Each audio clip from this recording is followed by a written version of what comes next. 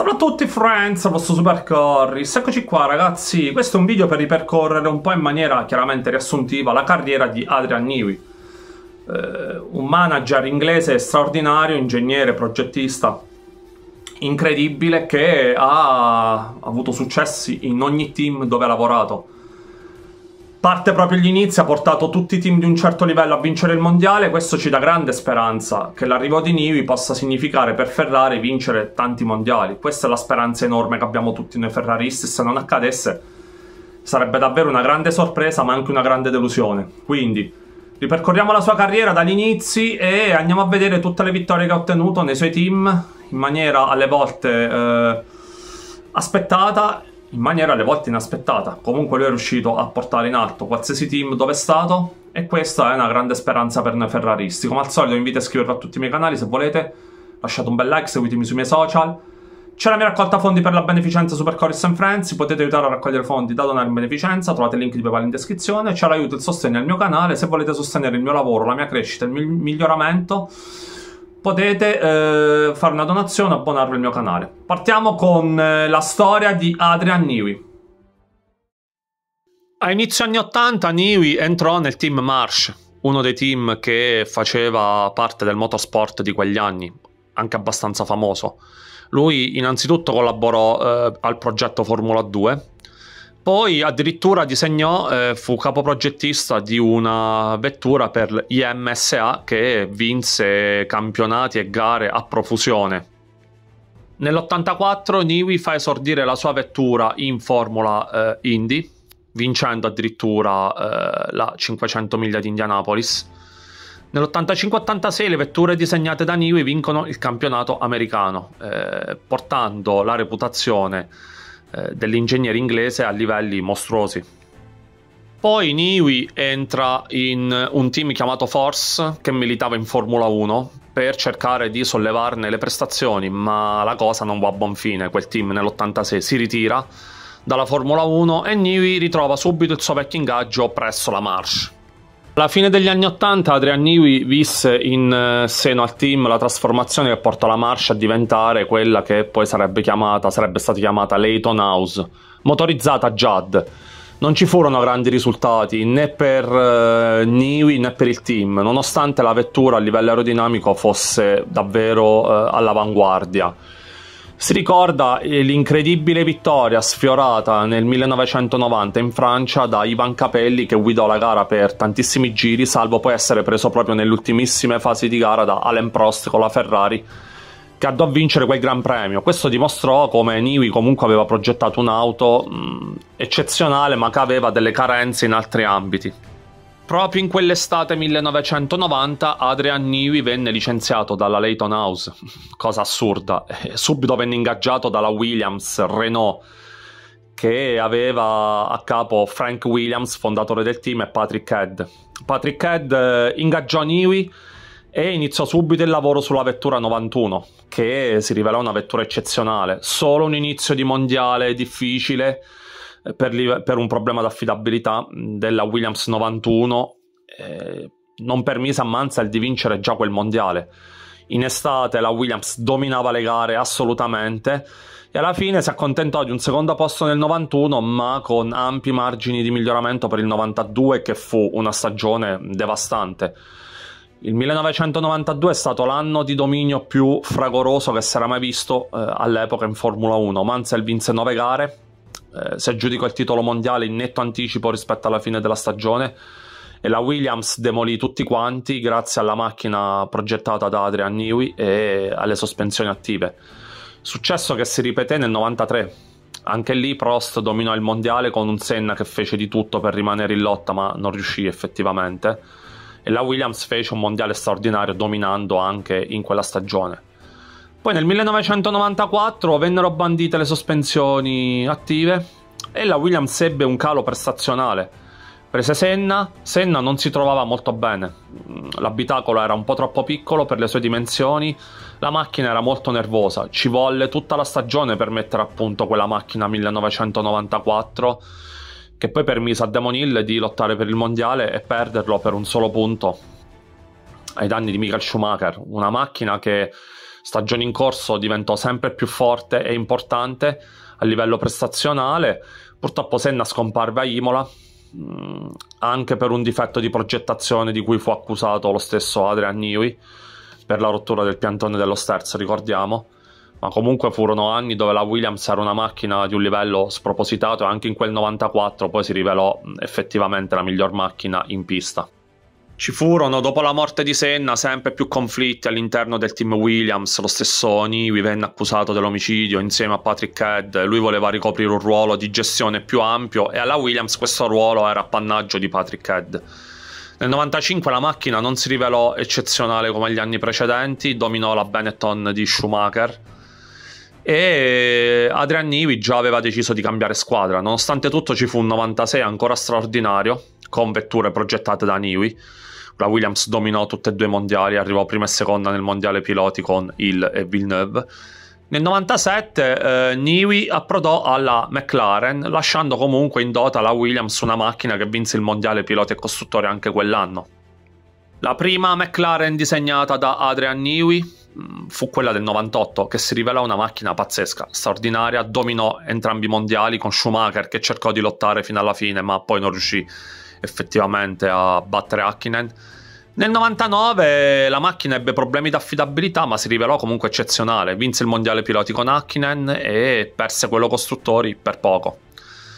Nel 2000 si ripeté la stessa storia, la macchina era eccezionale, problemi di affidabilità eh, non permisero di vincere entrambi i mondiali che furono appannaggio della Ferrari, ma eh, Newey in quel momento era riconosciuto a tutti i livelli come il manager migliore. Beh, già nel 2001 eh, Niwi fu in... tentato, fu tentato eh, il suo ingaggio da parte della Ford e della Jaguar che correvano appunto in Formula 1 in quegli anni. Questo non accadde perché Ron Dennis in McLaren alla fine eh, convinse Niwi a rimanere col team inglese, ma di base le prestazioni della McLaren scesero anno per anno, nonostante tutto con una vecchia macchina del 2002, nel 2003 rischiò di vincere il mondiale la McLaren, lo perse per un nulla nei confronti di Schumacher.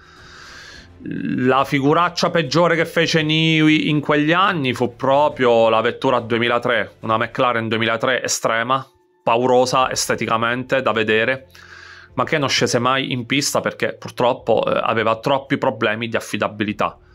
Quella fu un po' la figuraccia peggiore che fece Niwi nella sua carriera anche nel 2004 la macchina che fu discendente di quella 2003 che non scese mai in pista si rivelò una macchina molto fragile, vinse una sola gara con Raikkonen e effettivamente si inclinò parecchio il rapporto tra Newey e la McLaren in quegli anni che portò poi l'inglese a lasciare il team eh, a fine 2004. Infatti nell'inizio 2005 sembrava che Nivi fosse proprio destinato a lasciare seduta stante la McLaren e invece Ron Dennis riuscì a rinnovargli il contratto fino alla fine della stagione 2005, una stagione che portò McLaren a essere la miglior macchina in pista se non fosse che l'affidabilità impedì a Kimi Raikkonen di vincere quel mondiale. La McLaren quando andava era nettamente superiore a Renault, Ferrari, Williams, a tutto il resto dello schieramento. Peccato che si rompeva sempre. Fine 2005 definitivamente Niwi decide di lasciare la McLaren. Nel 2006 Niwi diventa eh, ufficialmente direttore tecnico della Red Bull, eh, inizia questa avventura fantastica, lui si mette subito al lavoro per la macchina 2007 e pian piano la Red Bull ogni anno fa una macchina migliore, inizia a crescere, inizia a cercare piloti più forti nel 2008 ottiene diversi podi, addirittura la Toro Rosso mh, mm, vince una gara a Monza e Niwi dimostra che ci sa fare. Si prepara un 2009 dove col cambio regolamentare la Red Bull vuole essere protagonista. Nel 2009 Niwi appunto eh, presenta una vettura innovativa. C'è però il dominio Brown GP a inizio mondiale che presenta un fondo diverso, un estrattore posteriore rivoluzionario e vince le prime gare, ma Niwi si mette subito al lavoro e in men che non si dica porta una soluzione molto simile. Lui aveva scelto anche i motori Renault a sua detta più compatti per la sua vettura e in più la Red Bull era l'unico team dei top a aver rinunciato al montare il KERS, che era quella potenza, quel motorino aggiuntivo che dava potenza sui rettilini per pochi secondi. Tutto ciò permise alla Red Bull di avere molto meno peso sull'auto, azionare meglio le zavorre e essere competitiva. A fine mondiale Vettel e Webber vinsero diverse gare e la Red Bull arrivò seconda sia nel mondiale piloti sia nel mondiale costruttori dimostrandosi in netta ascesa. Nel 2010 arriva il primo mondiale piloti e il primo mondiale costruttori per la Red Bull. La Red Bull è la miglior macchina in pista, ha alcune problematiche legate all'affidabilità che poi si risolvono. Vince il mondiale costruttori con una gara d'anticipo e con Vettel vince il mondiale piloti all'ultima gara, battendo Alonso e Webber, che era il suo compagno di squadra oltre alla McLaren. Torna la vittoria del mondiale una macchina disegnata da Niwi e inizia il dominio Red Bull. Beh ragazzi, sono anni di dominio, il 2011 è un dominio fragoroso di Red Bull che non ha rivali, domina mh, mm, con una marea di pole position e di vittorie facendo record su record. Il 2012 stravince il mondiale costruttori, quello piloti lo vince per soli tre punti con un Alonso incredibile che riesce a trascinare la lotta fino all'ultima gara, perdendo per soli tre punti. 2013 a metà stagione la Red Bull mette il turbo anche aiutata comunque da favori eh, evidenti della FIA e stravince quel mondiale. Quattro mondiali piloti e quattro mondiali costruttori consecutivi incoronano Adrian Newey come fenomeno della progettazione di auto vincenti in Formula 1. Purtroppo nel 2014 con la nascita del motore ibrido mm, la Red Bull non dispone più di un motore all'altezza per combattere con Mercedes, il motore Renault di quelli che ci sono è probabilmente il peggiore e infatti eh, la macchina spesso e volentieri non riesce a essere competitiva. Nonostante tutto nel 2014 con Ricciardo all'interno del team si cerca di rimanere aggrappati al mondiale. Ricciardo vince tre gare e rimane comunque aggrappato alla lotta fino agli ultimi appuntamenti. Poi chiaramente Red Bull fa anche una rifondazione a livello di piloti, punta sui giovani, arriva successivamente anche Verstappen, però si deve accontentare sempre di vittorie di tappa e mai di una lotta vera per il mondiale. Eh, passano tanti anni dove Red Bull eh, litiga con eh, la Renault e lo stesso Niwi più volte dice se avessimo un motore all'altezza potremmo vincere. Effettivamente la bontà telaistica aerodinamica della Red Bull è riconosciuta da tutti. Il problema è che il motore è troppo penalizzante, ecco perché Nivi non riesce mai a vincere in quegli anni nonostante macchine potenzialmente all'altezza. Nel 2020, chiaramente, con l'arrivo anche della Honda in seno alla Red Bull, inizia una collaborazione molto proficua, che poi porta pian piano Red Bull a crescere mano a mano, mano a mano, a portarsi nel 2021 eh, a poter lottare di nuovo per il mondiale. Beh ragazzi, nel 2021, ultimo anno del vecchio regolamento, la Red Bull è la macchina migliore. Supportata da un ottimo motore Honda, è la macchina migliore in pista, capiamoci.